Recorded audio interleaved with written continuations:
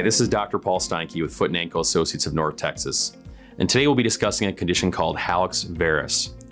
Now, this is not the same as hallux valgus, which is uh, also known as a bunion deformity, where the great toe deviates towards the lesser toes and a large bump forms along the middle of the foot. This is exactly the opposite condition. Hallux varus means the great toe deviates towards the middle of your body or away from the smaller toes. In the vast majority of situations, this was caused by a surgical procedure where the surgeon picked the wrong procedure, overcorrected the deformity, but in reality, in most cases, is just a known complication of bunion surgeries and can occur to anybody, even with proper surgical technique. Now, the problem with hallux varus is your great toe rubs the middle of your shoe and really just looks very uncomfortable and makes it difficult to wear sandals. Now, often patients will have had this surgery and they'll be told by their surgeon there's nothing that they can do. And this couldn't frustrate me more being a revision surgeon, as most problems have a cure.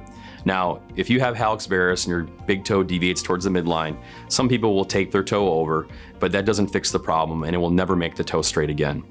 Surgical repair can include reversing the previous bone cut that was made by the previous surgeon, adding a small specialty suture that pulls the toe straight, or in some rare, more severe circumstances, actually fusing the great toe joint straight.